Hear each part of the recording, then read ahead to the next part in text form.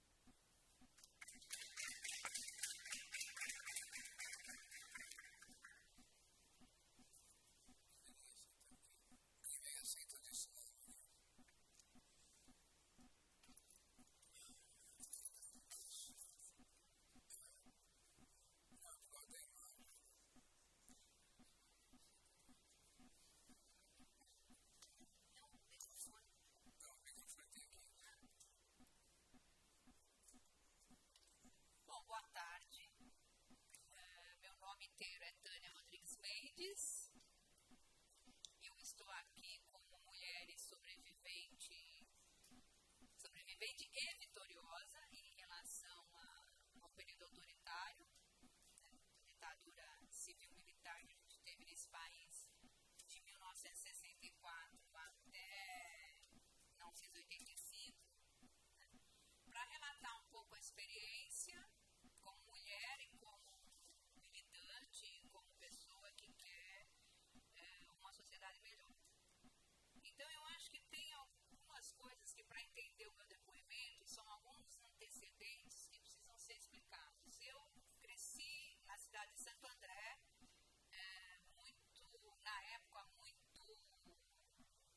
efervescente, era conhecida como Santo André Vermelha, um movimento sindical muito forte. Os meus pais eram, meu pai era espanhol, eh, então tinha problemas graves de, durante o período da primeira ditadura do Getúlio, de um estrangeiro eh, não poderia participar, mas a minha mãe participava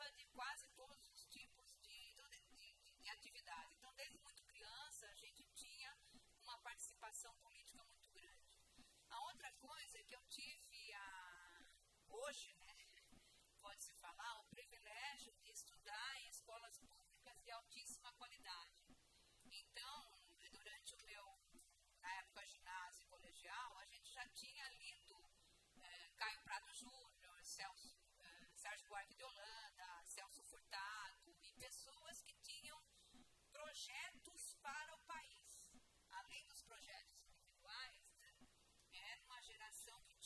projetos para o país, para o país e para o mundo. Né? É, porque eu acho que às vezes as pessoas se perguntam como é que uma geração de mulheres nascida em 1947, ou mulher, uma geração, mas pelo menos eu, nascida em 1947,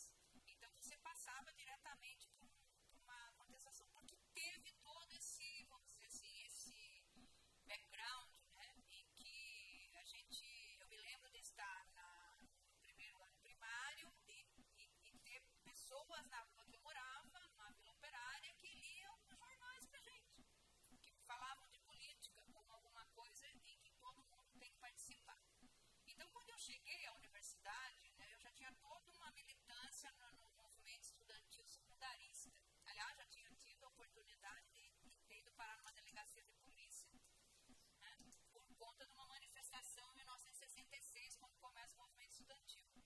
Quando eu entro na Universidade de São Paulo, na escola, na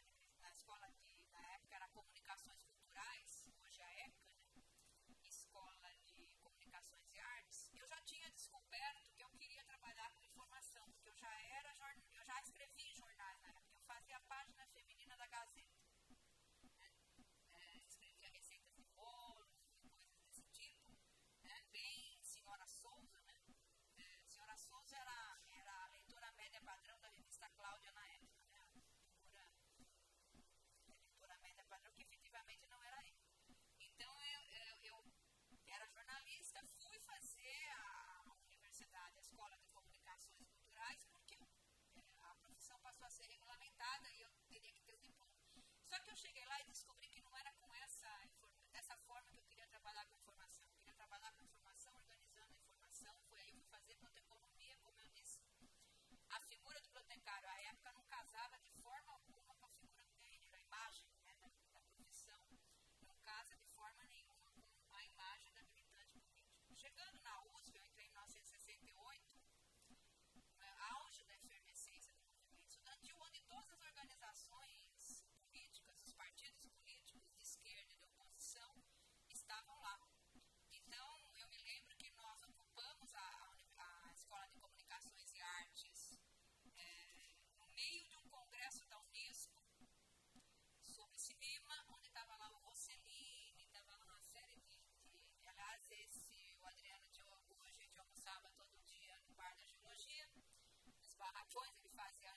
fazia a ECA e a gente almoçava nos, nos barcos.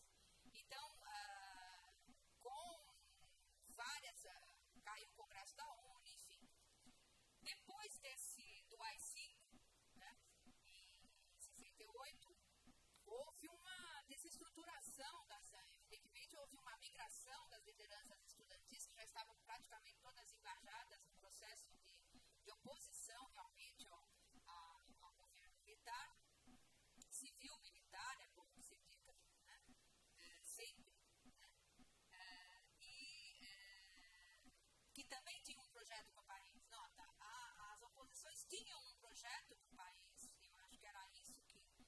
diferencia, diferenciava um pouco essa geração.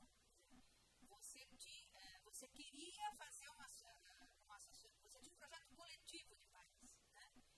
É, feito isso, havia necessidade de, de, de continuar resistindo. Então, é, nesse, nessa atuação na, na Escola de, de Comunicações e Artes e Culturais, na época, eu tive o meu primeiro contato com a LN, que era uma organização que tinha várias, várias pessoas aqui já devem ter falado, eu não, nem preciso me estender muito sobre isso, mas você tinha a frente de massa, você tinha a frente dos grupos armados, você tinha o campo, tinha a frente de massa. Você deveria fazer uma revolução, que naquele documentário Marighella está dentro, né, meio parecido, sem envolver, sem que fosse envolvida a sociedade, não se via uh, se, uh, possibilidade de, de, de, ter sucesso numa luta de, para a retirada da ditadura. Não só, é, é importante que o que nos mobilizava não era só vamos tirar a ditadura, vamos tirar isso daí. O que nos mobilizava era nós vamos tirar isso daí por outra coisa muito melhor no lugar.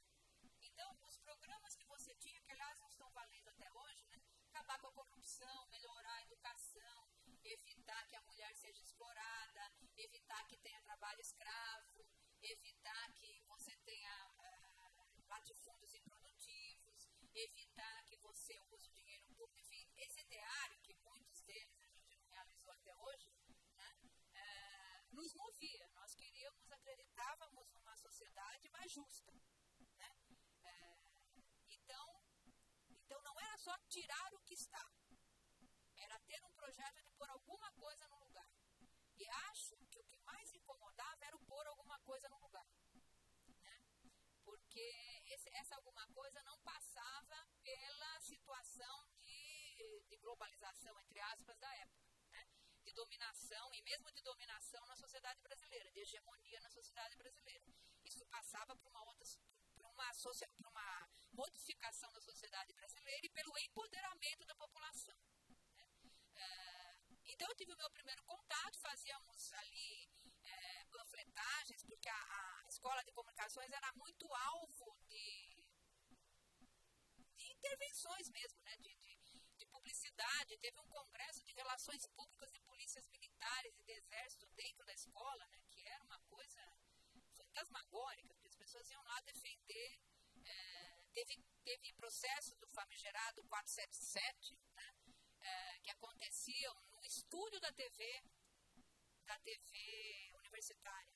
Né? Então era um, era um aparelhamento de, de, de, repressão impressionante. Então eu tive esse meu primeiro contato. Depois né, eu conheci o meu falecido marido, o Gabriel Prado Mendes, é, o comandante Mário da LN, que eu não sabia que era da LN quando conheci e comecei a namorar. Né? Mas nós estávamos então montando, remontando as entidades e eu fui contato, fizemos um contato para ser do Diretório Central dos Estudantes da USP, é, nessa fase de 69 a 1971.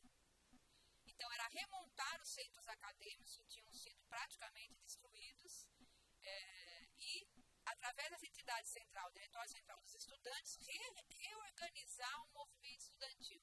Então, foi esse, ah, nessa direção estava o Ronaldo Mons Queiroz, que foi é, fuzilado na rua, né? É, e estava várias outras pessoas. Então, nós começamos esse trabalho e criamos, foi essa entidade que criou o trote unificado. Era tão difícil você fazer qualquer coisa, assim, as pessoas precisam ter noção do que era o tamanho da repressão. Né? É, você andava, é, você podia ser parado no ônibus indo, eu pegava, eu morava em Santo André, então eu acordava às quatro horas da manhã, pegava o trem, uh, ia até o Brás, pegava o famoso 929, vez em quando o Adriano me dava carona até São Caetano, né? pegava o 929, ia para a USP e fazia a volta. Às vezes, quando ia chegando no ABC, eles paravam o ônibus, descia todo mundo e todo mundo marchava por duas, três horas para que o ônibus fosse feito a, a, a, fiscalização. Se você tivesse dois ou três, três exemplares do Jornal da Tarde, você podia ser parado e questionado que você estava fazendo subversão, você estava fazendo panfletagem, alguma coisa. Para a gente entender o ambiente né, de repressão eh, social que se vivia. Então, qualquer coisa que se fazia tinha que ser assim muito pensada. Então, nós fizemos, a ideia era conseguir mobilizar, fazer a mobilização outra vez dos estudantes, recriar o movimento estudantil, mas já em contato com as organizações eh, armadas ou não, ou com os partidos que estavam aí para um outro projeto de sociedade para retirar a ditadura. Então, esse TCE criou o trote unificado, fez inúmeros trabalhos na USP, fez chopadas peripatéticas, que estava andando com chope. É, e eu trabalhava, né? eu não era uma. Eu, eu estava na entidade, assistia a aula, fazia um estágio, é, e, enfim, dava tempo de fazer tudo. Né? Então, eu trabalhava na época na Pirelli, é uma multinacional, muito mais é, pneu, não é pneu, o negócio da Pirelli é cobre, cabo, né? É, pneu, pneu é só uma parte. E eu trabalhava na gerência de vendas marketing da empresa. E eu me lembro que eles faziam, eu trabalhava exatamente com informação. Então, as empresas recebiam dos órgãos de repressão, essas alturas, né, em 69, 70, não estava tão organizado, o BAN e o DOI CODIN, depois houve essa organização do Exército, recebiam informações dos órgãos de repressão, o alto escalão das empresas. Então, passava, por exemplo, pela minha mão vários, vários documentos de organizações Existiam organogramas que o pessoal de finanças fazia a respeito das organizações armadas que seriam cômicos se não fossem trágicos, né?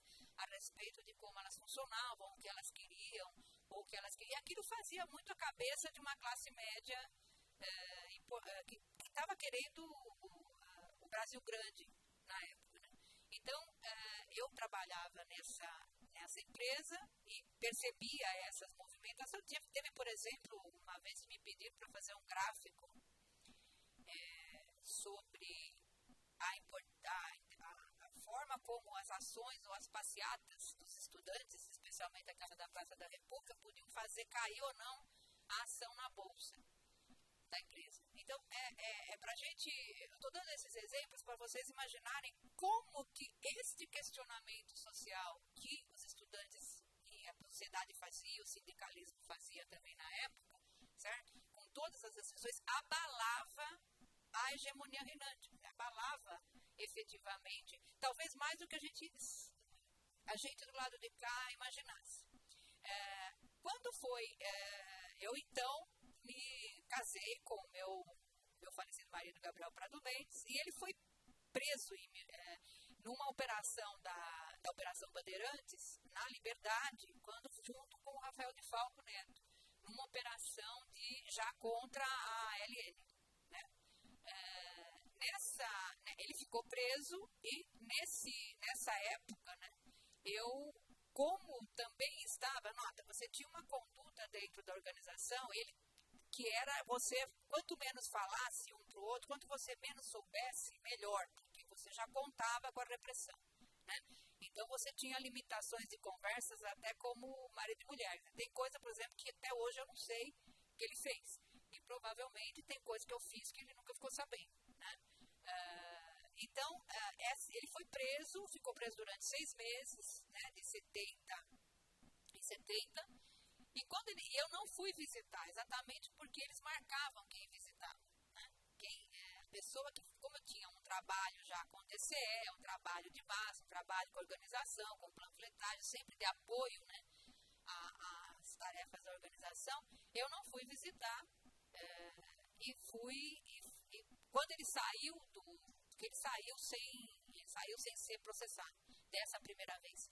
Quando ele saiu da. Ele era da, da, da Pontifícia Universidade de São Paulo, da PUC. Quando ele saiu essa primeira vez, nós nos casamos em, 13, em 17 de abril de, de 1971 e foi um casamento à la repressão, porque entre a gente marcar eu lembro que é isso aí que eu queria falar assim, quanto a visão da mulher, né? É, se hoje você já tem um estereótipo, na época era totalmente, isso aparece muito na repressão, quer dizer, como é que uma figura, entendeu? De uma família que está aí criada, que foi educada, que ainda por cima é bibliotecária, e, e podia se casar, ter filhos, não sei o que, está cuidando da, das crianças, da, se mete a fazer isso. Eu me lembro que o juiz de paz ficou escandalizado, que nós fomos marcar o, o casamento civil por conta de que você, era melhor casar, porque juntar chamaria tanta atenção que era melhor casar. Vamos lá casar, certo? Porque se você não casasse formalmente, você está fazendo uma militância, certo? Você ia ser um foco de atenção por você não ter casado. Entendeu? Então, casamos, certo? Só que na, na, o juiz, como fomos casar, marcar o casamento, nós chegamos, ah, mas esse dia não dá, porque esse dia tem isso, esse dia não. O juiz ficou enfurecido. Como é que um casal vem casar e diz que não tem agenda, fica procurando um dia na agenda? Então nós já percebemos que aquilo era um comportamento questionável, né? Você tinha que e eu tive, quero deixar bem claro que eu sempre tive, eu e meu marido, apoio total da minha família. A minha família, eu posso até dizer que fui, oi pai, é, e que fui privilegiada porque ninguém na minha família nunca se comportou contra aquilo que eu já estava fazendo. Sempre deu muito apoio, sempre deu muito, teve muita compreensão e sempre teve presente. Não era o caso da família do meu marido, do meu marido, por exemplo, que tinha aquela visão de que a ditadura estava certa, até ingenuamente, né? mas tinha aquela visão de que a ditadura estava certa. Então, é, nós nos casamos, mas como ficamos, como essas alturas do casamento, a, ele tinha sido preso e, e a repressão descobriu que ele era ele, porque ele saiu, porque não casaram uma busca que estavam fazendo por um lado com a outra. Que ele estava preso e conseguiu sair e eles tinham. Depois é que eles ligaram que uma outra busca que eles estavam fazendo em função da LN era aquela pessoa que tinha ficado presa. Então nós saímos é, em São Paulo já com, com, isso, com a missão de. Bom, aí evidentemente a gente já sabia que, embora tenha sido uma situação quase que. É, enfim, por acaso que eu tenha casado com, ter tido um contato com a organização por um lado e depois de casado com alguém da organização é, por outro, né? Nós, já, evidentemente, já sabíamos que estávamos na mesma organização e fomos para Mato Grosso. Né? É, primeiro porque a gente estava clandestino e ficava difícil manter todas as pessoas clandestinas na cidade de São Paulo, onde se concentrava boa parte da repressão. E segundo, porque a ideia era, em termos de frente de massa, você continuar, começar a fazer um trabalho de expansão é, política, desse trabalho de oposição e de construir uma nova sociedade. Nós ficamos no Mato Grosso, num lugar, Brasilândia era uma miséria, até hoje é, mas era, era uma coisa terrível. Né? É, vocês terem uma ideia, a, a, não chegava, não chegava sequer é, colírio para é, colírios para tirar coisas dos olhos, coisas básicas de saúde e não, che não, não chegava, não chegava ao mundo. A única rádio que pegava lá, não sei porquê, era a Rádio Dourado, FM. Né? Então era uma população rural, mais os índios chavantes, rural, que ouvia.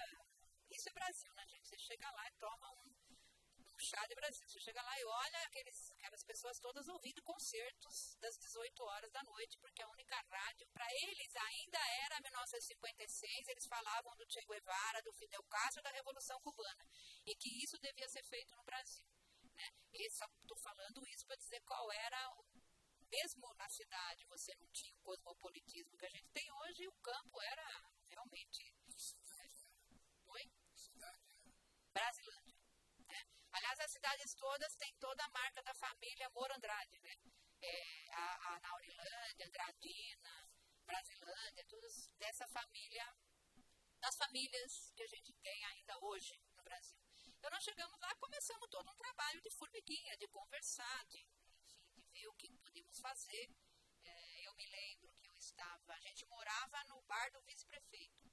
É, eu me lembro que eu estava no bar, assistindo, escutando rádio, e tinha, chegou uma figura vendendo um, um dicionário de 1946, a esposa do prefeito, que morava em São Paulo, o prefeito ficava em São Paulo. O prefeito dessa cidade não morava lá, ficava em São Paulo. Ele disse, mas isso aí é um horror, entendeu? Tem um dicionário do MEC de baratinho que a gente consegue e, e eu me nunca esqueci isso. Eu, a hora que eles perceberam que o cidadão tava, estava enganando, né? Pegando o pouco dinheiro que eles tinham, eles pegaram os, eu quase matam, quase lixam o tal do vendedor para a gente ver a, potencialidade de desespero que essas pessoas tinham. Né? Nesse, mas nesse período o Gabriel ficou doente, né? uma doença grave, ele teve linfoma durante 25 anos. E nós tivemos que voltar Mato Grosso para São Paulo já em 1971 para 72. Esse tempo nós ficamos então no campo, organ, tentando organizar alguma coisa, mas a carência era tão grande que o básico, entendeu? Se você fizesse assim, vamos fazer um mínimo de um saneamento básico, era visível que as, as obras superfaturadas, a água não funcionava, porque até um leigo chegava na cidade, a cidade plana, sabia que a água não ia funcionar, porque não tinha, a caixa d'água não tinha altura para Pra, e isso era tudo. Essa coisa que a gente vê né, da República das Empreiteiras já era é, bastante grande desde sempre. Então, nós voltamos para São Paulo e ficamos uh, aqui dando, fazendo, enfim, continu, continuamos a articulação possível né, de ser feita. Eu lembro que a gente lançou um jornal chamado Possível. Fazia várias tentativas de discutir a situação. Né? Então, você fazia jornal, você fazia panfletagem, também tinha ações de grupos armados. Eu nunca participei de, eu não era desse dessa frente da organização. A minha frente era a frente de informações, né? levantar informações, porque eu conseguia trabalhar com as informações, analisar informações e fazer o, o trabalho de frente de massa, ajudar a criar as entidades e criar os sindicatos, ajudar a criar grupo de teatro. Nessa altura eu já estava no grupo de teatro do César Vieira, que tive a honra de batizar com o nome de União e o Vivo, porque nós estávamos fazendo Rimomo, né? E. Já tinha voltado de Mato Grosso. Já tínhamos voltado de Mato Grosso porque ele estava tava aqui, né? Ele, ele teve que voltar. Teve um episódio que ele chegou aqui com um problema que não se identificava. Então, depois, Gabriel, depois que a gente identificou, foi feito isso no Hospital do Câncer, ah, com a ajuda do então advogado Ayrton Soares, eles, ele identificou então que ele tinha um linfoma.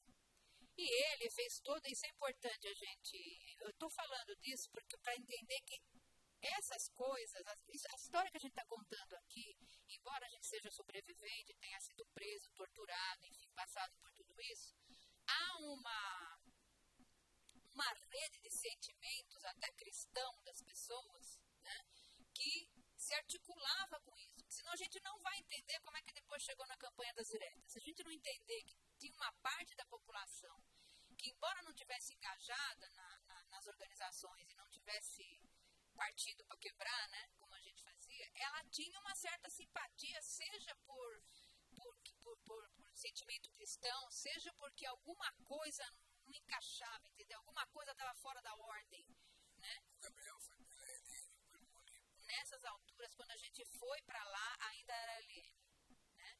É, e aí eu vou chegar no Molino. Quando nós voltamos, né? Você já tem um problema nessa altura, nessa, nesse período. Eu nunca fixo muito as datas, gente, porque assim, com um dia e tal, até para sair o meu dinheirinho da minha prisão, eu tive que pegar lá o, o processo porque é uma prática que ficou na minha cabeça. Esquecer alguns detalhes assim, porque você era treinado para esquecer. Esquecer nome de pessoa, esquecer lugar, esquecer data, esquecer porque você sabia que a tortura era brutal, certo? Então, quanto menos você soubesse, melhor, né? Pra, pra... Então, nesse, nesse período que nós voltamos, a gente encontrou uma situação é, difícil. A, a, a e CODI já estavam, a repressão já tinha se articulado com a, com a Polícia Civil, a, o Exército, enfim, eles já tinham conseguido articular mais né, a, os órgãos repressivos com troca de informação e tal. Tinha ficado mais difícil para as organizações certo? Se sustentar e se manter e se articular, estavam bastante compartimentadas. Você já também tinha muitas pessoas que tinham saído do país. Então, eu atuei muito ajudando a gente a sair do país, ajudando gente a sobreviver. É, enfim, eu me lembro que numa das ocasiões é, a gente teve um contato com, com a Maria Augusta Tomás e o Márcio Beck, que foram é, nesse período, não sei exatamente quando, mas quando eles estavam saindo de São Paulo para ir para o campo, certo? É, a gente, porque foi, isso me, me, marca a data, né, a data, estou contando aqui, não vou contar para repressão, é, a, a, a, data, é, ela é um pouco esfumaçada, mas eu me lembro exatamente da situação, foi uma situação dramática, entendeu? Em que você tinha que, que efetivamente driblar a repressão andando ali pelas ruas da Pompeia para conseguir que eles conseguissem sair da região, daquele lugar da Pompeia. Né? Então, eu estou querendo mostrar assim, eu fazia muito, até por conta do meu biotipo, né? eu nunca esqueço que eu tinha uma peleirinha azul de capinha, né? que na ocasião, gente, esse negócio do, da, da, do estereótipo da mulher, é tão impressionante que eu tinha. Eu apanhei muito por ser uma figura que eles diziam assim, mas com essa cara de anjo você tinha que casar. Como que você viveu? O problema do estereótipo da mulher. Eu não tinha nem biotipo, certo? Para resolver me meter a ser oposicionista do governo, entendeu? Então, essa coisa de você conversar, de você entrar, de você dissimular, de você ganhar tempo, de você, enfim, conseguir contornar situações, eu fazia muito. Né? Para tirar gente, para deixar sair gente, para deixar passar gente. É, porque você estava vivendo um período de forte pressão em cima das organizações e de necessidade de, de, de retirar gente do país, para sobreviver mesmo, para que as pessoas não morressem. Né? Então, e muita gente sendo presa. Então, esse período todo, o Gabriel ficou em tratamento com um nome frio no Hospital do Câncer, certo? Pelo SUS, em São Paulo. Né? Então, fez radioterapia. Então, você com toda essa repressão, com tudo isso. Mas você me interrompe quando tiver que. Não, é, é SUS, desculpa, não tinha SUS. É, eu quis dizer que foi, não tinha nenhuma. Eu quis dizer que foi no serviço público, certo?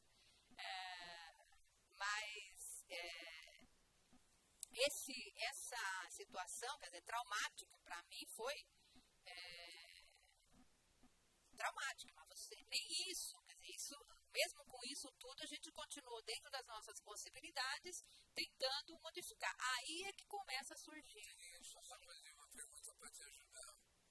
Quando vocês vão para Mato Grosso, vocês são organizados? No nível da organização que se tinha, que já eu não tive, pessoalmente, mas já tinha contato com o Irineu. Quer dizer, teve um contato com o Irineu. Não sei exatamente como, porque desse contato eu não participei. Vocês para fazer trabalho político, mas... Sim, mas não só.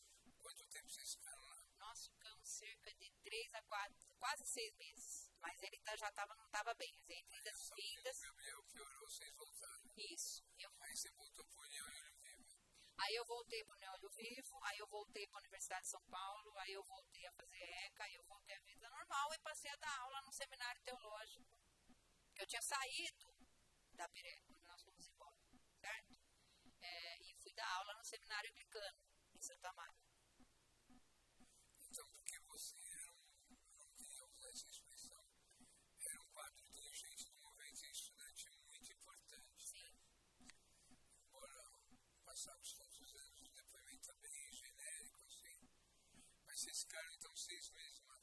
Cerca de seis meses, porque ele voltou, aí eu ficava lá e vinha, quer dizer. Você reencontrou o Queiroz?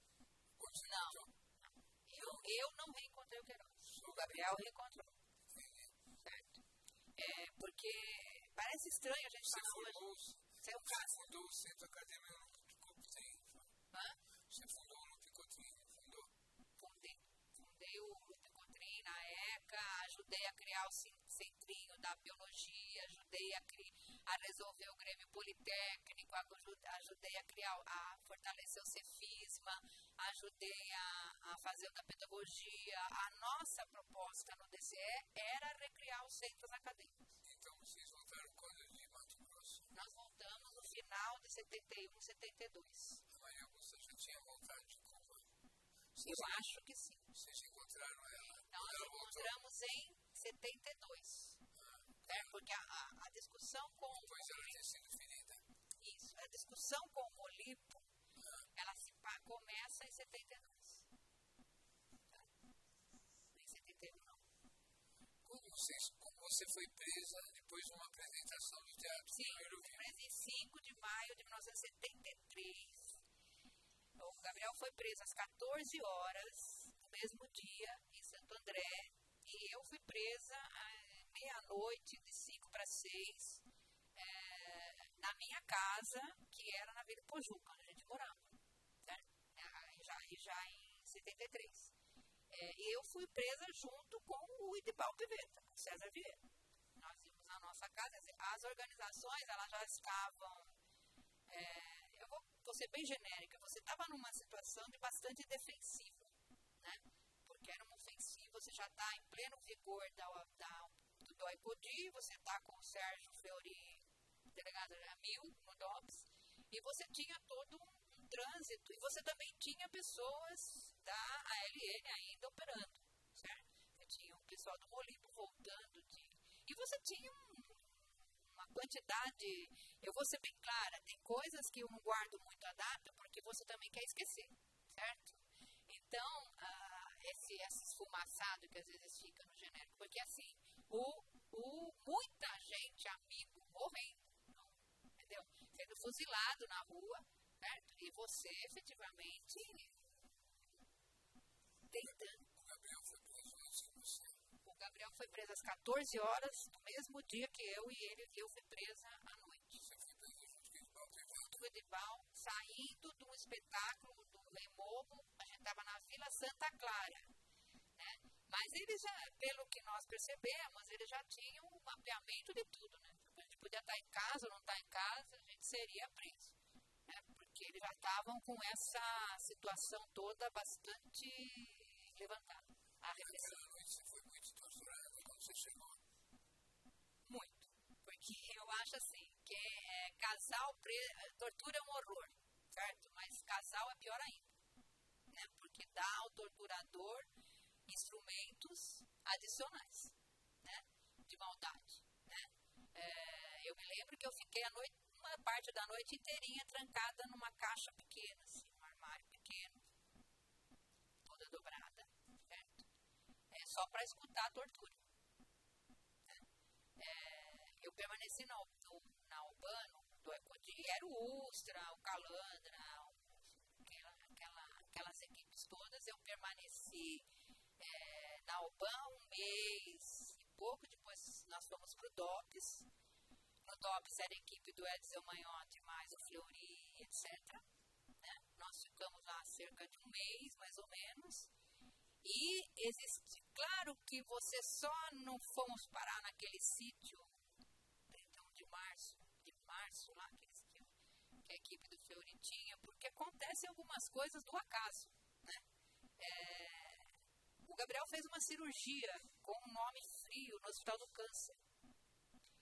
E as famílias, as pessoas todas, que eu digo, essa rede de pessoas que por algum sentimento resolvia participar e às vezes se arriscando muito, porque a pessoa não tinha noção é, daquela ajuda que ela estava dando, qual era o resultado que podia ser, porque eu me lembro que eles prendiam família, cachorro, papagaio, amigos, entendeu? Não queriam nem saber, se conversou com você, está querendo derrubar o governo. Então, aí eles... É, o hospital, a gente ficou ali, porque, nota, o Gabriel estava com nome frio, então não era o Gabriel que estava preso, né? era uma outra pessoa. Então, eu me lembro que uma das coisas que determinou a nossa transferência do DOPS para o hipódromo e não para algum outro lugar, né, é, foi o fato de que médicos do Hospital do Câncer reivindicaram o caso dele com Gabriel Prado Mendes como um caso de pesquisa da Cruz Vermelha.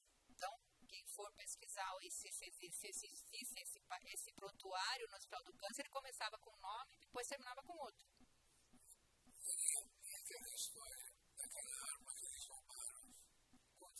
Bom, é, com a situação uh, que, que a gente tinha,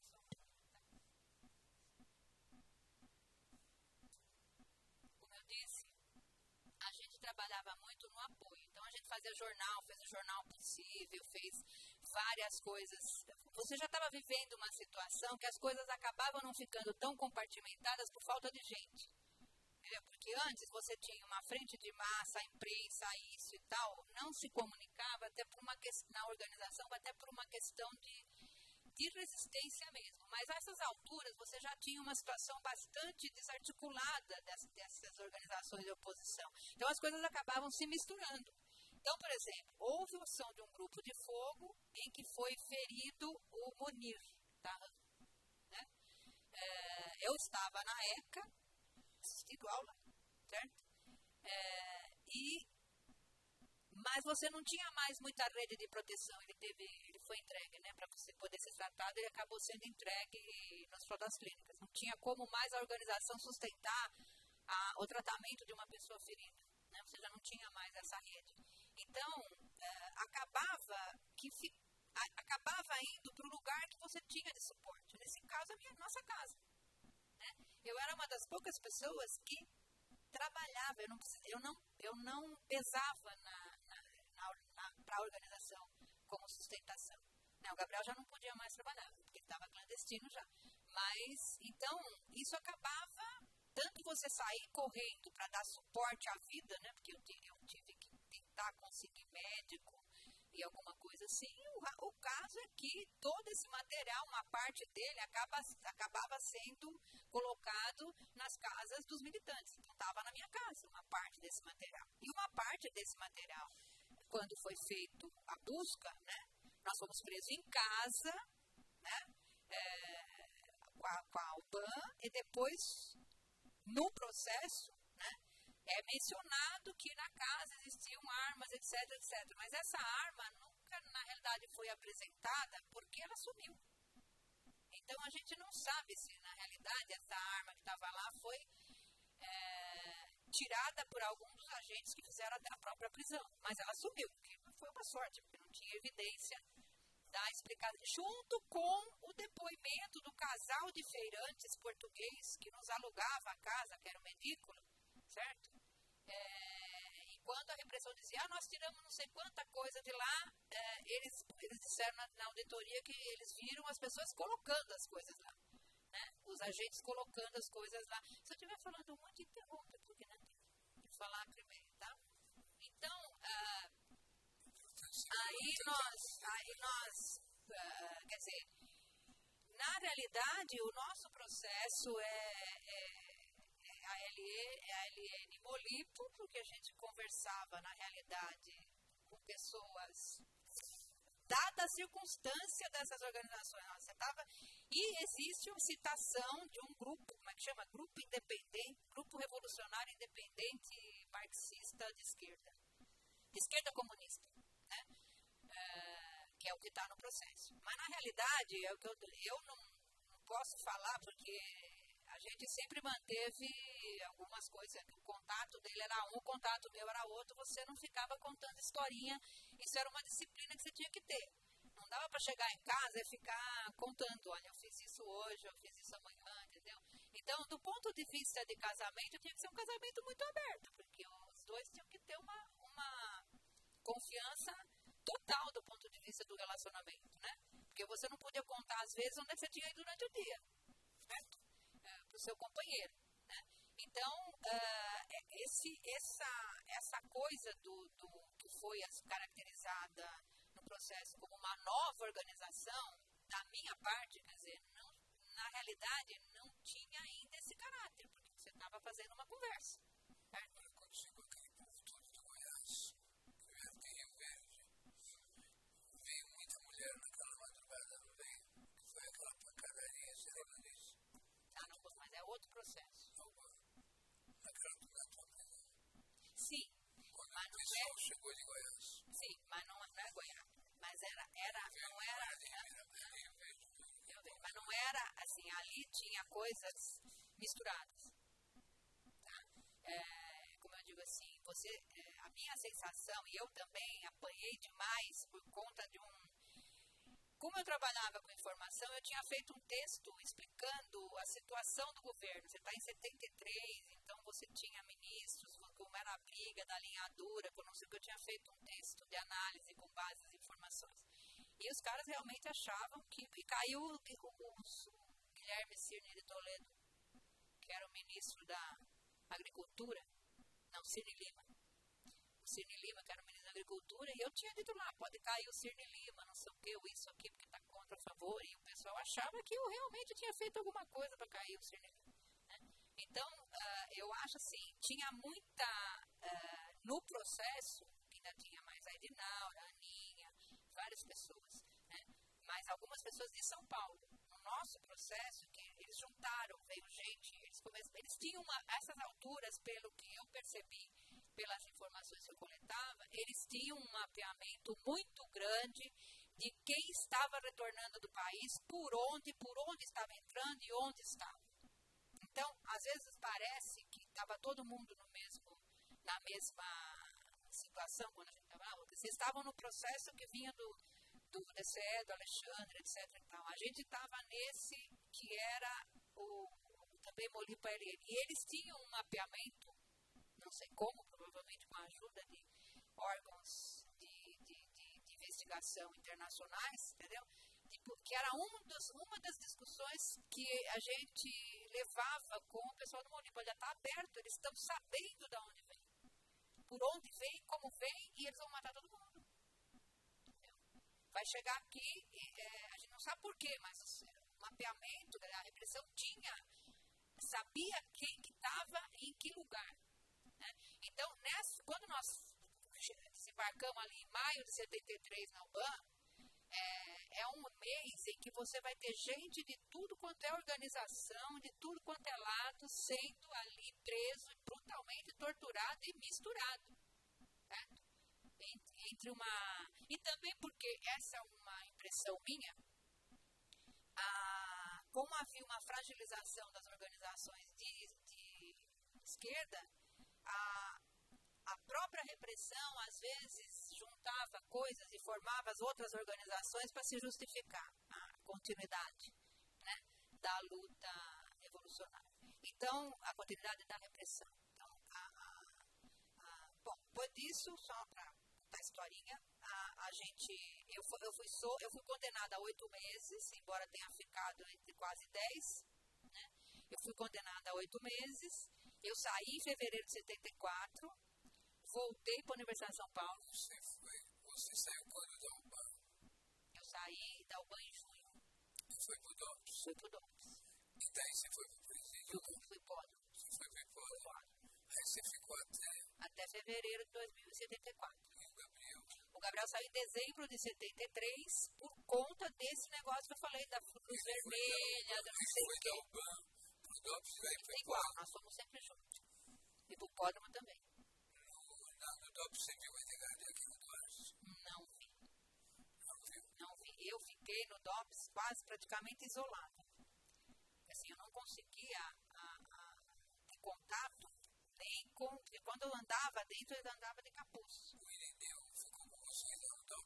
ele foi embora antes? Não, ele ficou uma parte, depois ele foi embora. Ele foi, foi pro presídio? Foi, foi, mas assim, ele, ele ficou, voltou para o BAN, voltou para o DOPS, depois foi para o presídio. Mas eu não sei aí, gente, exatamente o tempo que ele ficou, porque a gente não tinha muito contato, né? Não, o BAN caiu, o cara da GV, o Paulão, no período de vocês. O problema do Paulão era, o Paulão era do grupo de fogo, certo? Ele era, na época, motorista do Toledo. Então, é, nesse processo, né, foi, na realidade, a partir da prisão dele que foi feita a prisão do Gabriel, que foi feita a minha prisão. Paulo Miguel Novaes. Era da GV. Era da GV. Aluno da GV. Aluno. Entendi. E o Castiglione? O Castiglione.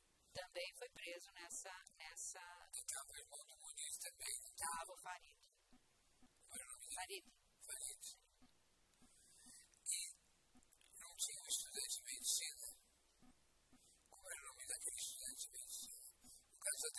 Casadei estava lá. Estudante de medicina, não. Tinha o Roberto Aze, que era estudante de direito. Não, não. Não, não me lembro. Não tinha, só tinha, Estudante de medicina. só tinha o, cara da GV, o Paulão. Tinha o Paulão, tinha o Casadei, tinha o, Castiglione, tinha nesse mesmo processo de Balqueveto, Roberto Aze, é, a, a Ana Maria e a Edinaura, que está nesse mesmo processo.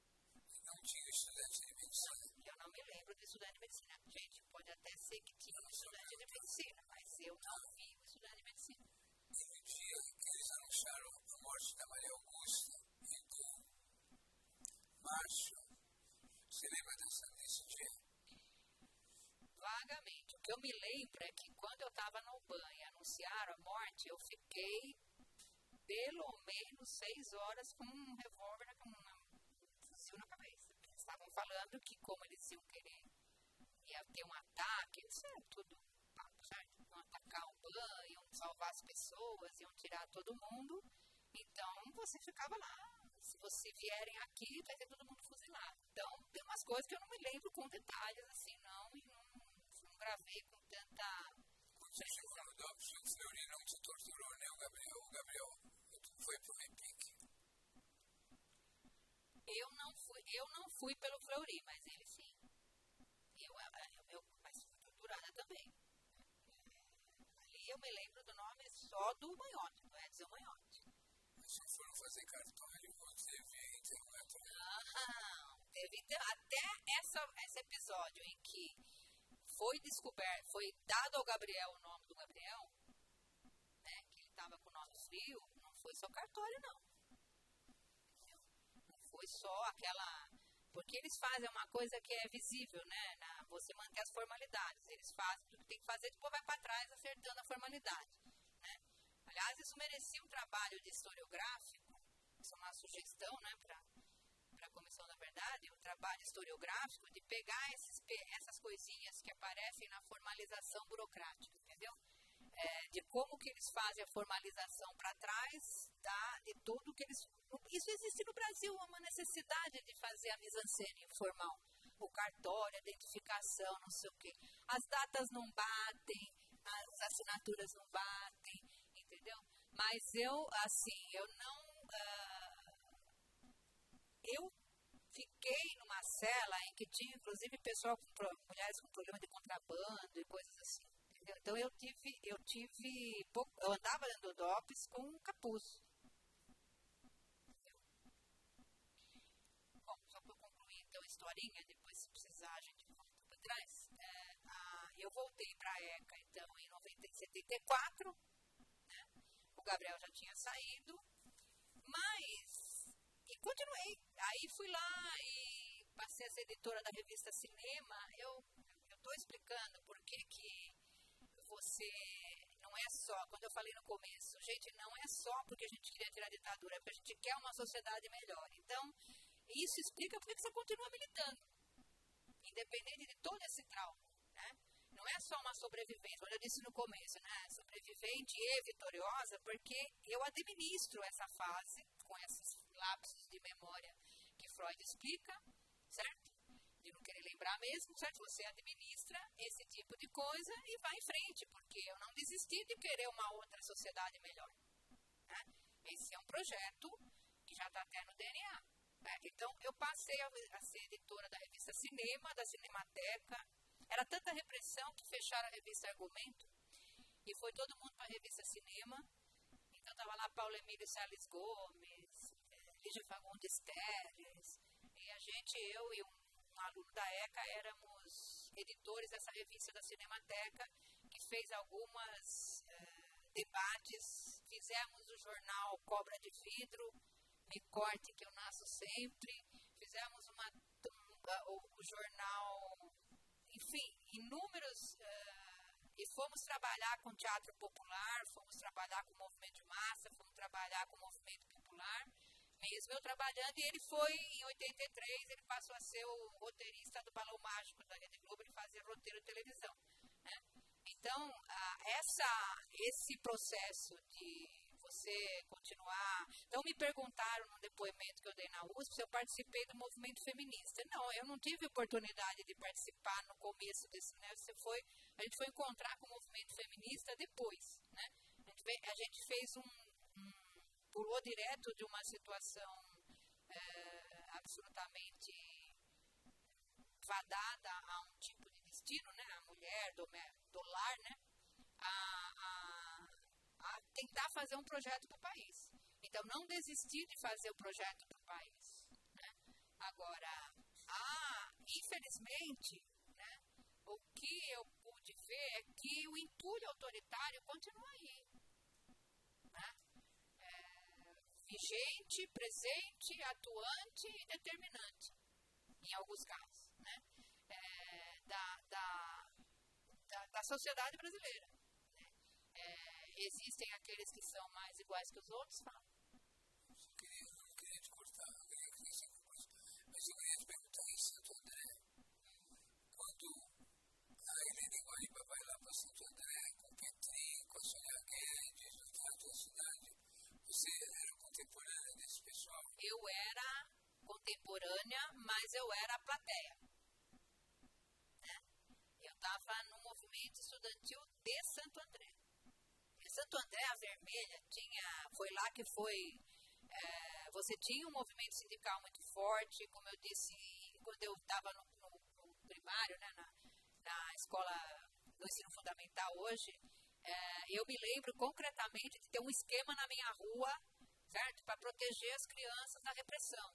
Então, quando pintava uma repressão em algum ponto da rua, tinha uma menina designada. Quando a gente via aquela menina, já sabia que era para se esconder. Entendeu? Que era para levar as crianças para o fundo de que você estava em plena repressão, isso do governo Vargas. Depois você teve todo um. Santo André teve o primeiro prefeito comunista do período em que o Partido Comunista foi, foi legal. E eu me lembro de ir com a minha mãe para ela assinar eu acho que o meu pai. Meu pai não podia fazer nada porque ele era estrangeiro, mas se ele permitia que a minha mãe fizesse, eu fui contemporânea. A Eleni, inclusive, em vários momentos esteve na minha rua, mas eu não tinha esse contato teatral. A gente fazia teatro no colégio, no Colégio Américo Brasileiro. Né? Nós montamos Liberdade, Liberdade em São Paulo, ainda no colegial, é, todo um trabalho de mobilização, mas nós não nos cruzamos na, na, cruzamos assim, eu fui plateia, ela foi espetáculo. Então, queria agradecer a Tania. Ela, acho que é a primeira vez que você fala isso, desde 73, você faz esse depoimento. Né? Não, eu falei só duas vezes. Uma em privado para uma tese da Maria Cláudia Bandan Ribeiro e a outra em público lá na Unicamp para os alunos do DIAS aqui da Assembleia Legislativa, é, de tal maneira que eu acho importante as pessoas entenderem, porque de vez em quando cria-se uma, uma mitologia, entendeu? De que essa geração ela foi extremamente sofredora enquanto geração. Sofremos uma tortura absurda que infelizmente né, ainda continua existindo né, para presos comuns, mas eu acho que foi uma geração absolutamente exitosa. Procurou ter pro... Nós somos muito felizes e somos muito felizes independente de todas essas, essas situações dramáticas, horrorosas, entendeu? E de, e de, total desrespeito, porque a pior coisa que uma pessoa sofre na tortura é virar coisa. Né? É virar um placebo, é virar um, um, nada, é virar um não ser, certo? Então, você tem que superar isso e não pode dar vitória a esse período que aconteceu. Você não pode, você não pode, pode vale tudo para você superar esse tipo de coisa, desde que você se coloque como gente, continue tendo um projeto de vida, continue. É a primeira vez que eu estou falando, porque em muitas circunstâncias, é, quando a gente falava, né, isso foi um pouco, só para completar, isso foi um pouco, quando nós saímos de, do presídio, é, nós já, quando nós caímos, né, quando nós, a gente falava quando a gente caía, a gente já tinha uma sensação de que você tinha que ter um trabalho de massa muito forte para mostrar que essas pessoas não eram bicho-papão. Que você tinha que ter uma ligação muito forte com o cidadão comum, para saber como que ele estava vendo isso. Então, quando nós saímos, e como eu digo, é uma coisa diferenciada, porque a gente teve um apoio sempre muito irrestrito da família, né? É, só para um, contar um episódio, já que tem o problema de gênero também, a família do Gabriel ficou sabendo que ele estava casado e preso, casado comigo, no Jornal Nacional. Com as duas fotografias. Foram presos terroristas tais. Entendeu? Então vocês imaginam o choque numa família que é o ramo pobre, mas família meio da prata. Né? É, então, é, aí nós tínhamos que fazer toda uma proteção, certo? Aí esses familiares dele, então nós simulamos uma separação mas para protegê-los, porque a casa era acampanada o tempo todo. Então você tem, você tem uh, notas do Ministério, por exemplo, depois, até 79, né, o Dr. Tuma estava pedindo as nossas fotos para um álbum de fotografias de subversivos, né? Até 79, na véspera da anistia, até um pouquinho depois, 1980, né, a, o órgão, o órgão da, do Ministério da Aeronáutica é, informações, está pedindo informações a meu respeito. Então, eu acho que, falando desse intuito autoritário, né, eu acho que é, eu estou falando também porque eu acho que, além do depoimento que a gente está fazendo, certo? É, essas coisas precisam ficar claras para que a gente identifique no que está aí o que continua. Porque tem muita coisa que está de pé. Então, por isso que não dá para parar de militar também, né? Não dá para parar de querer uma sociedade melhor. Eu queria agradecer a esse depoimento da Toninha, da Toninha, da Toninha,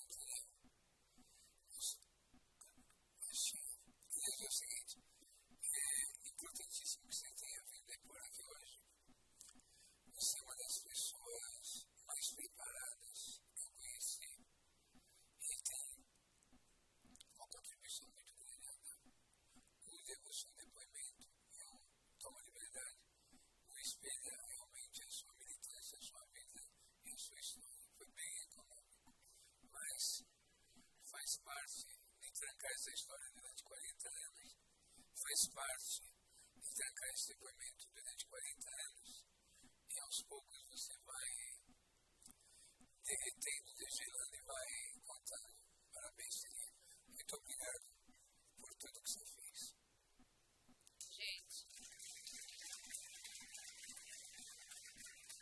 Eu agradeço as palavras do Adriano, mas eu acho que uma das. Ele tem razão.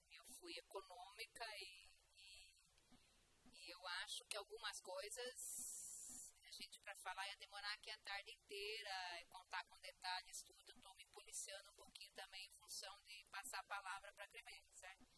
Mas o fato é o seguinte: eu acho uma das coisas que marcou a nossa atuação, a minha e do Gabriel pelo menos, foi sempre imaginar, sei, uma coisa meio natural, entendeu? Você não acha que tudo aquilo que você está fazendo é tão importante assim. Então você precisa fazer mais.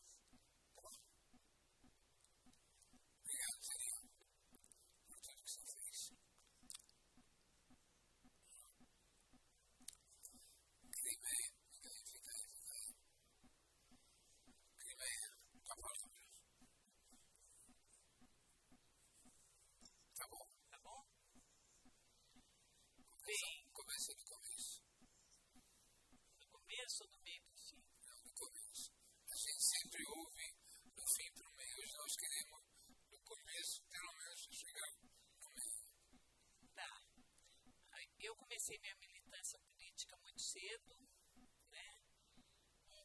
da minha história é, do país que eu vivia coincide com o da Tânia, porque era a mesma época, embora eu vivesse nessa época em Belo Horizonte, um estado bastante reacionário, que foi o berço do golpe.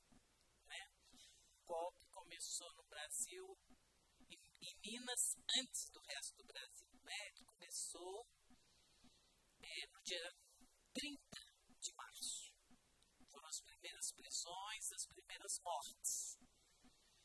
Mas ele foi vitorioso em 1 de abril, então os militares preferiram ficar com 31 de março, porque 1 de abril não ficava bem. É, então eu vivia num estado bastante reacionário, conservador, é, patriarcal? E, eu não tive essa educação, não era feminista, mas eu não tinha uma educação é, religiosa, eu não tinha uma educação é, tão patriarcal. Minha educação foi mais liberal e, e contestadora, e, e as contestações eram coisas muito simples, assim, no começo, reivindicavam, a gente reivindicava um time de vôlei, já que tinha um time de futebol de várzea para os meninos, então por que não vôlei para as mulheres? E, e a gente era mal vista, porque para jogar vôlei na várzea, né, ou seja, em campo aberto, e você de shortinho, como que é isso? Que coisa mais feia, né? Então, as primeiras contestações eram tão ingênuas. e, mas depois eu fui para o ginásio.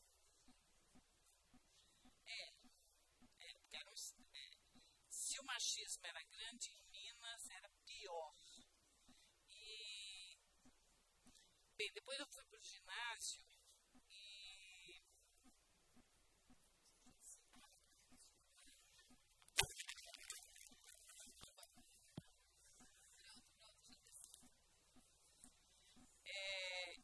o ginásio e aí aconteceu na minha escola o seguinte, lá foi instalado um projeto piloto para a, o que mais tarde veio a ser o plano, o projeto MEC-USAID, que foi implantado no Brasil nos anos 70.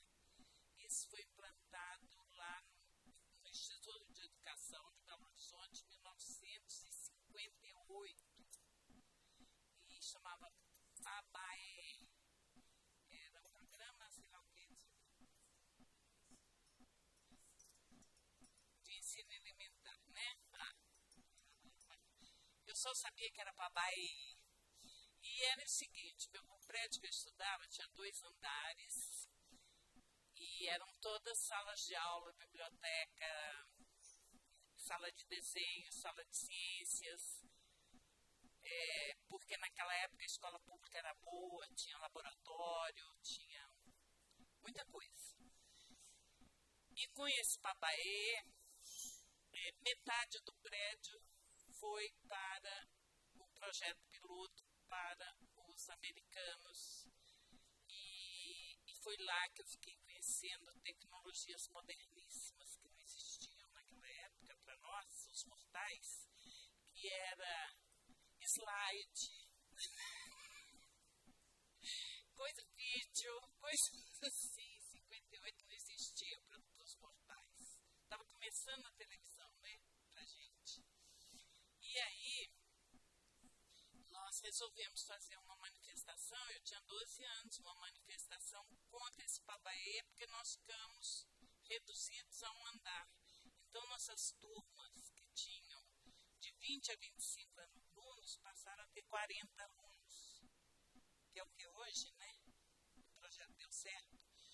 E, e nós protestamos contra isso. E a gente pegou a, o esqueleto que estava na sala de ciências e pusemos lá, falando que era o diretor, que a gente ia enterrar ele. Dentro da escola, não foi fora da escola, não, foi dentro, passando pela diretoria. E, e aí a gente foi chamada, e a gente era contra os americanos, nem era imperialismo americano, era contra os americanos do Papai.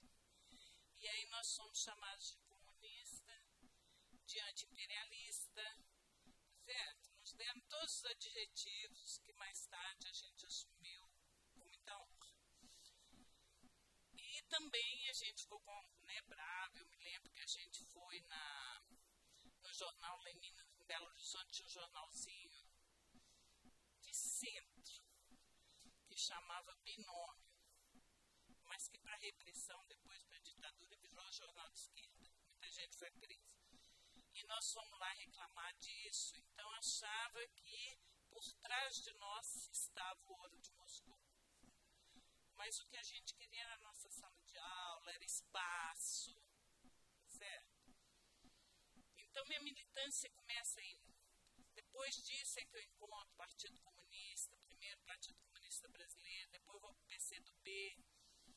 É, quando acontece o golpe em 64, como eu estava dizendo, em Minas começou antes, é, logo em seguida, dia 1 dia 2, meu pai desaparece, vai trabalhar e desaparece, ele ficou desaparecido cerca de seis meses. Depois nós encontramos, então nesse período é, a gente visitava quartéis, a gente visitava o DOPS, a procura, né? Então ia batendo de porta em porta de instituição militar. E nesse mesmo tempo, é, eu e a minha família, né? Porque assim, falo eu, mas minha família está junto. É, respondemos ao, ao IPM de 64 os primeiros IPMs de 64. É, a gente era acusada de organizar um movimento universitário. Eu ainda era secundarista, eu tinha 17 anos.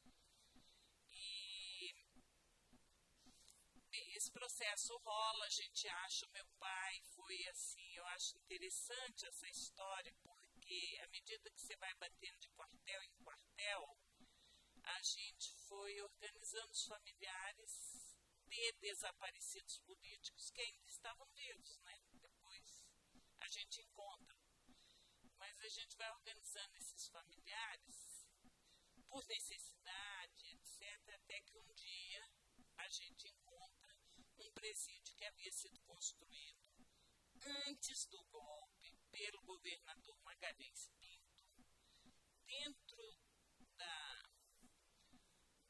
presídio agrícola de Neves, que hoje é um presídio de segurança máxima, mas naquele tempo já era, não se falava esse, não se chamava com esse nome. Ele havia construído um presídio para presos políticos. Por isso que a gente não achava, porque ninguém sabia daquele presídio. Né? E, e aí foi um período também interessante, porque a gente passa a ser pombo correio, a gente vai visitar os presos de todas as organizações e eles dão para a gente cartas, recados, é, endereços para a gente avisar que precisa sair, que precisa não sei o quê, que precisa isso, precisa aquilo. Ou então familiares que estão doentes, precisando de ajuda. Enfim, era todo tipo de recado que a gente recebia e, e tratava de. Muitos a gente mandava carta sem saber o que tinha dentro e para onde a gente estava mandando. Porque eles punham a carta dentro de uma carta e dizia no correio você tira dentro do outro envelope, dizia você tira o envelope e entrega para o cara lá, né, o caixa. Então a gente não sabia para quem estava mandando carta, nem o que, mas a gente mandava. Você fala da solidariedade. E eu tinha 17 anos nessa época. Né?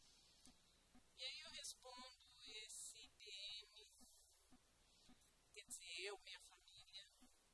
E, e quando em 66, nesse meio tempo, eu, eu passo, passo vestibular e tal, e, e aí o processo do meu pai vai a julgamento processo, nosso processo né, vai a julgamento e nós vamos para a clandestinidade no Rio de Janeiro.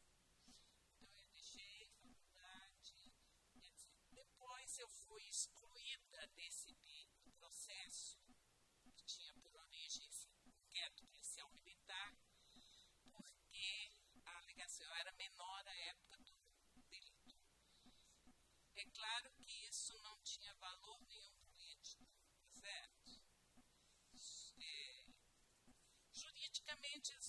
processado, mas politicamente eles iam continuar reprimindo.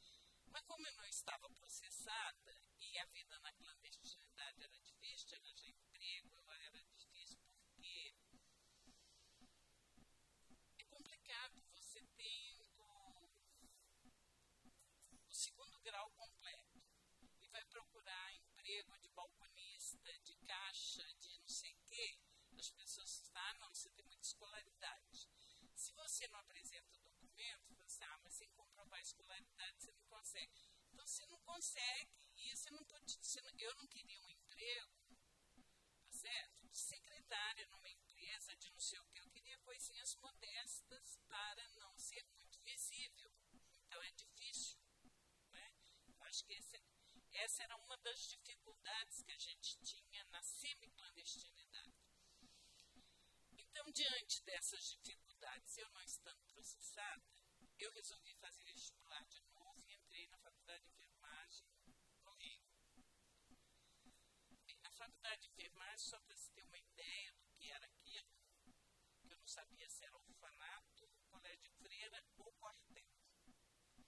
Porque foi criada pela Fundação Forte para combater a, mal, a malária a febre amarela para a colonização do Brasil pelos americanos. Foi na época da madeira, da, da borracha. Então era uma escola terrível, um negócio assim. A repressão era tão grande e eu era muito. Eu tinha sido criada muito soltinha, muito liberal, então não aguentava aquilo não. Então uma das coisas que eu instituí na escola, porque era assim, se você estava entrando num corredor e vinha alguém de patente maior que a sua, que era a professora, a diretora ou aluna do ano maior que o seu, você tinha aguardar enquanto passasse. Então, como era um negócio desse tipo, eu resolvi bater continência para todo mundo. Então, passar perto de mim, eu batia continência. E me perguntaram por quê. Eu falei, porque eu estou no quartel. E não dava muito certo aí, não. E assim, a profissão de enfermeira é uma profissão para ser dócil, para ser servil, tá certo? E isso também não deu muito certo comigo. Né? E aconteceu, inclusive, assim, só para dar um exemplo de como era aquele mundinho daquela época, né? era cruel. Então eu trabalhava, né, fazia estágio no hospital público, no hospital universitário, mas tinha assim internações para pessoas ilustres que ficavam numa enfermaria sozinha, não tinha outro paciente com eles, e escolhiam a dieta. E o meu estudo de casa era uma prostituta que vivia ali perto do, do hospital, que eu, meu hospital que eu fiz estágio era o Hospital São Francisco, que ficava no Mangue, né, na Praça 11. E, e ela não teve o mesmo tratamento que esses particulares. E eu falei assim, ah, não, meu estudo de caso vai ter o mesmo tratamento, ela vai escolher o cardápio e, certo? Começou uma briga por causa disso. Ela escolheu o cardápio e eles fizeram uma besteira com ela. Foi uma. Era uma cirurgia de períneo e é, perfurar a bexiga. Então ela ficou com incontinência urinária. E eu comecei a fazer os exames. E é muito difícil, porque quem pede exame é médico. Então eu falsificava a assinatura deles, punha carimbo deles e pedia os exames e comprovei que ela tinha uma perfuração de bexiga e que eles teriam que fazer a reparação. Bem, nesse meio tempo também eu sou presa em Biúna, então aí completou o caldo, né? Porque, mas eles fizeram assim, a reparação da bexiga, tiveram que fazer tudo, tiveram que dar dieta especial para ela. Porque tudo isso é antes do AI-5, né? Se fosse depois também não, não dava certo. E essa mulher, inclusive, ficou muito minha amiga, e quando eu saía tarde da noite lá do hospital, que era no Mangue, né? E estava cheio de homem procurando mulher ali na zona de prostituição, ela disse, não mexam com a Crimé, ela é moça de família. E eu tinha minha segurança garantida, tá certo? Pedaço. Bem, isso foi tempo de estudante, mas aí veio as cinco, eu disse, já fui presa em Biúna, veio as cinco, e eu fui para o Araguaia. Em janeiro de 69, as cinco foi 13 de dezembro de 68, eu fui para o Araguaia porque eu vi que não dava mais para viver clandestinidade, sempre clandestinidade, e, tá certo? e para mim era muito claro contra essa ditadura, a luta seria a luta armada mesmo, eu não tinha dúvida. Então eu fui para o Araguaia. Lá no Araguaia eu vivi quatro anos. É, você estava falando do Brasil, que é bem a região de floresta amazônica, era uma região terrível, embora hoje ela seja mais urbana, mas a meu ver pior ela foi desmatada, né, totalmente desmatada aquela região, inclusive desmatada com desfolhante laranja e na palma. É, além das madeireiras e mineradoras, né, que desmataram também. É, mas aquela região era uma região muito hostil, que a gente chamava de fim de mundo, porque ali não havia uma estrada, a estrada mais próxima era Belém Brasília. É, não havia um, nenhuma estrada, não havia luz elétrica, não havia posto de saúde, não havia médico, não havia nada. Quando você foi para Paraguai? Janeiro de 69. Quantos anos você tinha? 22. Sozinha? Sozinha. Sozinha com os meus companheiros de partida, né? Foi um grupo? Não, fui eu. Foi sozinha? Você foi daqui para onde? Do Rio para onde? Do Rio vim para São Paulo, de São Paulo fui para Anápolis, de Anápolis eu fui para Imperatriz no Maranhão, Anápolis em Goiás, Imperatriz no Maranhão, e de Imperatriz no Maranhão fui para um lugar chamado Faveira, pertence à cidade de São João do Araguaia. Mas eu não sabia para onde eu estava indo, nem onde aquilo ficava no mapa. Depois que eu descobri que São João do Araguaia era uma cidade velha, que era uma das referências por onde passava o Tratado de Tordesilhas. Era bem velho. bem velho. E eu fui a primeira mulher jovem que chegou lá tinha a Elsa Manerá, que era bem mais velha, mais jovem, dos 20 e poucos anos, era eu. É, inclusive, o João Amazonas diz, me disse o seguinte, que era importante como eu iria me desempenhar lá no Araguaia, porque do meu desempenho dependeria a ida de mulheres para a guerrilha. E eu falei, se, se os homens não se desempenharem bem os seus papéis, não vai ter homem na guerrilha disse, não, isso é modo de dizer. Mas é claro que não é modo de dizer, né? É o machismo dos partidos. Estava presente em tudo o machismo, né? Eu me lembro que no Rio, meus companheiros de partido chamavam para pichação e eu morava nesse quartel. Então eu só podia entrar até 10 horas da noite. Para pichar, eu tinha que sair antes das 10, ficar na rua até uma, duas horas da manhã, enquanto a gente ia fazer a pichação pichar e continuar na rua até sete horas da manhã. E eu explicava para eles, olha, não dá, né? Para mim é difícil, a não ser que eu vá para casa de vocês. Ah, não, fica muito chato uma menina dormir lá em casa, né? Porque era tudo homem. Eu falei assim, onde, para onde que eu vou? E isso dava muita briga, tá certo? E, e assim, tipo, sabe, que militante é você que não serve para fazer pichação? Vive essa contradição e eu acabava indo, e sabe onde que eu ficava? Passava essas horas debaixo dos bueiros que vão dar na praia. Né? Eu ficar dentro daquele tubão, que fica muito mendigo lá dentro, e rato, eu entrava ali dentro, esperava a hora chegar, ia lá para o ponto do, do, da puxação, fazer minha puxação. Bom, aí você chegou lá. Quem te recebeu lá? Quem me recebeu foi o André Giancarlo Castiglia. Né? São dois desaparecidos. É, André Grabois. Que acabou se tornando meu marido, que eu nem sabia quando nos tornamos uma marido e mulher, eu nem sabia que, que ele chamava André Grabois. Isso era clandestinidade. A gente passava a viver com alguém sem saber que nome tinha, de onde era, de onde vinha, para onde ia. Né? Estava na mesma luta. Bem, aí teve, teve uma série de problemas. Ser mulher na esquerda não foi fácil. Esse é o Geraldão. Oswaldão, conheci.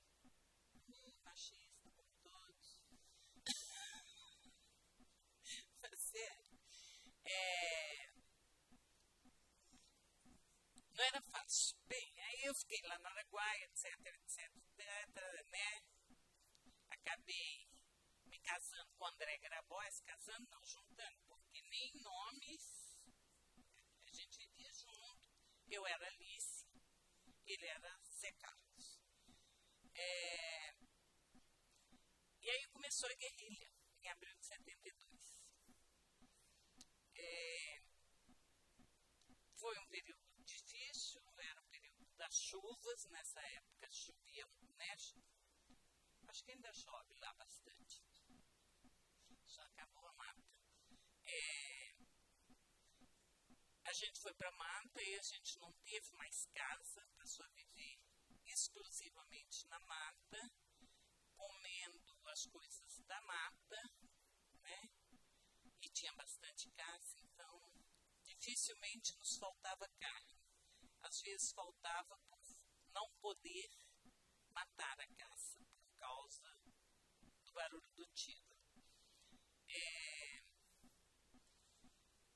e com esse, com esse cerco do exército, é, a guerrilha perdeu contato com a cidade, com o partido na cidade. Então, eu fui escolhida pelo fato de ser mulher também, né? era mais fácil passar pela repressão. A repressão não ia perceber que mulher era guerrilheira, né? ia ter mais dificuldade. Então, eu fui escolhida para fazer o contato com a direção do partido aqui. E também pelo fato de que eu estava grávida, isso também era um problema né? para a guerrilha. É, eu viria fazer os, os, contatos e ter meu filho e voltaria. É, eu ainda voltei à região, fiz os contatos aqui em São Paulo, voltei à região mais, acho que três vezes. E na última vez que eu voltei, acabei sendo presa. Certo? E aí, nessa altura, eu já estava quase no sétimo mês de gravidez.